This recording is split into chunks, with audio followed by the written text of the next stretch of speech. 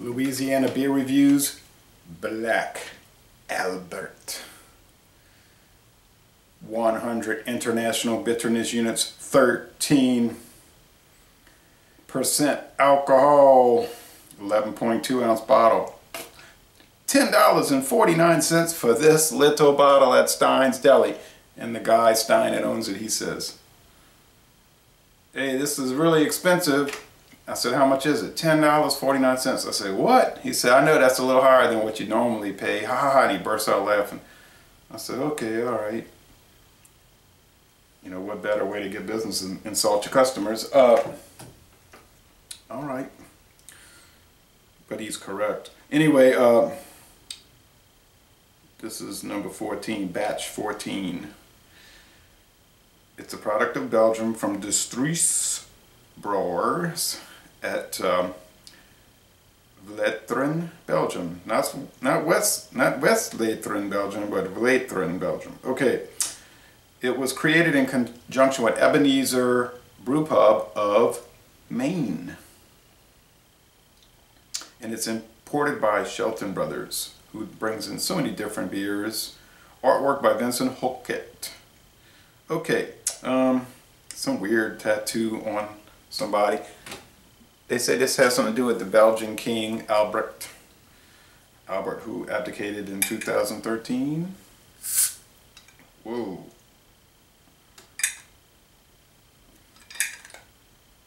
After being on the throne for about 20 years, 93 to 2013, of the House of Saxe-Coburg and Gotha. All right, same royal house of Great Britain, by the way, Saxe-Coburg and Gotha.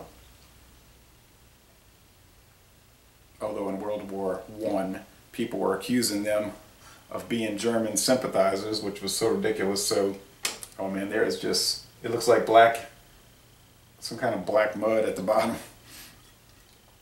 So they changed their name to the House of Windsor.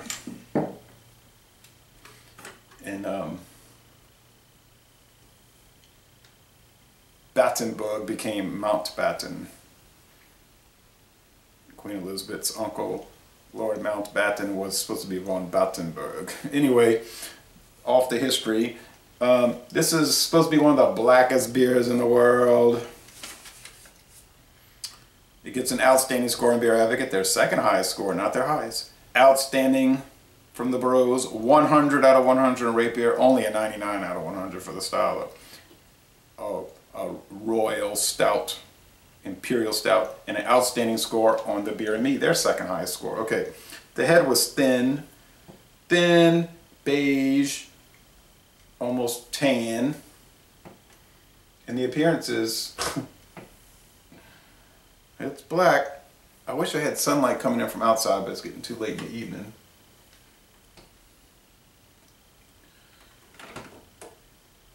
Okay with this light shining through though, I'm picking up some brown on the edges, okay? Brown on the edges. It's coming, it's coming loose. It's, it's like, uh, oh yeah. It's like that experimental spaceship, uh, 19, 74, she's breaking up, she's breaking up. As Steve Austin said. Okay, anyway, uh, yes, sir. Yes, sir. This better be worth 10.49. I don't know how it could be, but the Westvleteren 12 was $14 a bottle and it was worth it for a one-time sample and I can guarantee you this will be a one-time sample unless I get it for a gift for Christmas or something. Hmm. They say you could age this for probably decades, but I don't know when the batch 14 came out. They don't say. Batch 0 was in 2007. That's when it originally came out, 2007. Gives me a lot number. But I don't know what that means. I guess it's not old. I did give it. I did get a seven percent discount on it though. It's very rich. It's rich like super dark roasted barley malt, which is what they're using. I think they have candi sugar in it from what I read. It's astringent, like in your nose. It's like, it stings your nose. it's like a molasses or a licorice. Wow, that's, that's an intense aroma, man. Let's go with the flavor, man. Haven't even drank any yet.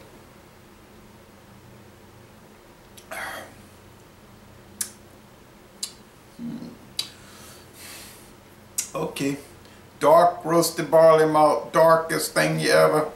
Alright. Richest thing ever. Sweetest thing ever. Alright, so it's rich. It's sweet. It's dark roasted. It's chocolatey. It's coffee-like.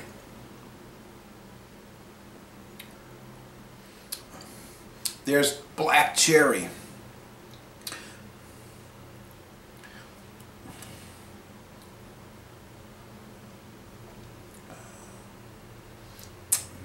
There's vegetable in it like celery. Yeah, it's not made with vegetables. Um, the mouth feels thick, thick, thick. I was watching one video review, there's about 10 on there, and I was watching them today. I was putting the comments. I'm about to try this today. There's nothing else I could say because I hadn't had it yet somebody said, that thing's so thick it tastes like it was made without water.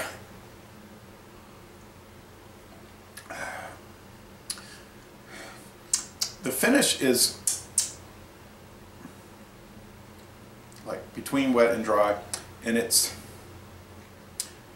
it's roasted. Like it's a roasted finish but it's not an alcoholic finish. I drank the Super Brew 15 that I don't know what that was just like ghastly you know? I mean it was that was a lager but it was so alcoholic as you drank it, and I had to pour it out. I couldn't finish it.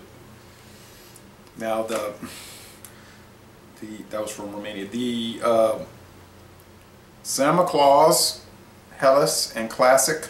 Those are 14, but they seem to be more alcoholic than this. But they're lagers, Doppelbocks, or malt liquors, as it says on the bottle, which a malt liquor is a Doppelbock, or a Doppelbock is a malt liquor, I should say. Uh, hell, this is a malt liquor. If you go by the strict definition of malt liquor, what is it? Extra strong beer of any sort, but typically lagers. This is an ale, stout ale.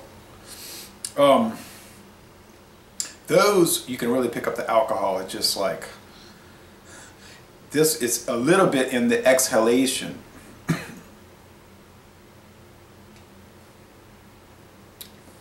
There's fruitiness for sure. Grape skins. Raisin, I would say, the chocolatiness, the richness. Uh, you can feel the warmth, you see, but it's, like someone said, dangerously drinkable.